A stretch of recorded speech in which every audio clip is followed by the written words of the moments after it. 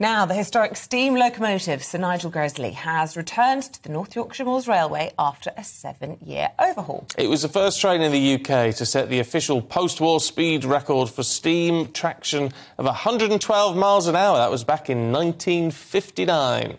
Well, our reporter Anna Riley has been speaking to passengers who enjoyed the experience of travelling behind the only operational class A4 Pacific and those who made it possible.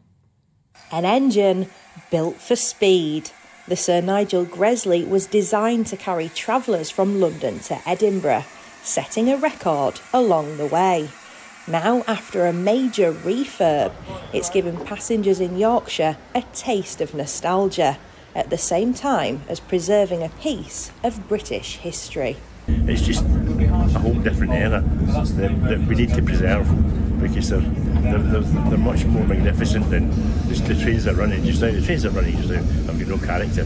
These things are almost living pieces of equipment. You know, it's uh, absolutely fantastic. The locomotive is operated by many volunteers at the North Yorkshire Moors Railway who believe icons of the past like this one should be preserved for the future. I've driven and fired every working A4 locomotive and Sir Nigel Gresley today is probably the best one I've been in. They've done a fantastic job. But we built everything, we designed everything. We were excellent. Um, and a lot of the skills now are no longer needed. Because they're no longer needed, they're no longer taught.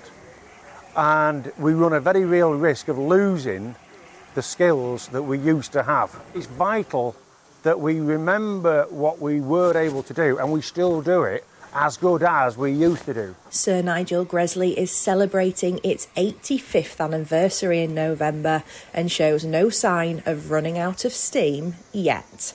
Anna Riley, GB News, Grosmont.